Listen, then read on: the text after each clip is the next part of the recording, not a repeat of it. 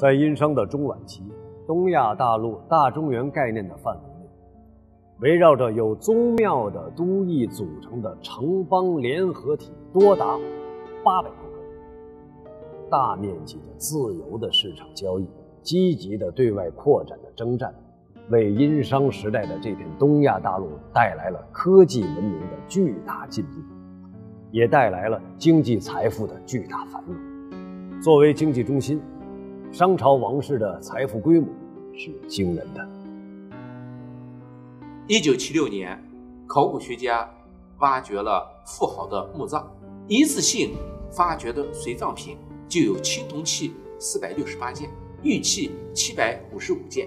骨器五百六十四件，海贝六千八百多枚。你不要以为这仅仅是王室的奢侈，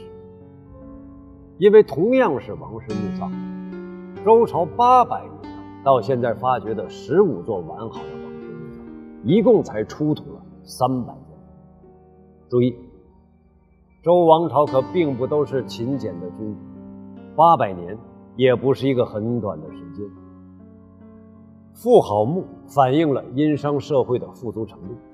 是此后八百年历代中原王室都很难望其项。有个最好的例子可以证明殷商文明在高潮来临时有多辉煌。一九三九年，考古学家在今天河南省安阳市的虎关村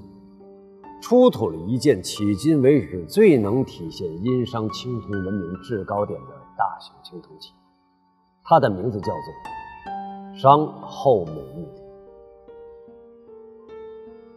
这座鼎高一点三三米。重八百三十二点八四公斤，是迄今为止考古发现的中国古代体量最大、最重的青铜器。鼎身四周的盘龙纹、饕餮纹柱非常轻巧，但最为惊人的是，它的器身与四足这么大的体量和重量，竟然是一次性整体铸造。这件事有多难？首先，作为青铜合金作品。后母屋顶的含铜量为百分之八十四点七七，含锡量为百分之十一点六四，含铅量为百分之二点七九。这一合金比例在熔点、硬度、抵抗锈蚀等方面的把握度高度成熟。四百年后，依然是战国时期成书的考工记合金配比的标准。考古发现，殷商同时期的干锅，每只每次大约能熔炼青铜十二公斤，一次性浇铸八百多公斤青铜熔液，需要超过八十个干锅同时升温到一千两百度，而且每只干锅三种合金比例都是均衡一致的，这就至少需要三百名工匠在超高温的环境下同步协作。这就不仅是规模宏大的事情，它更体现了分工的细致、组织的严密。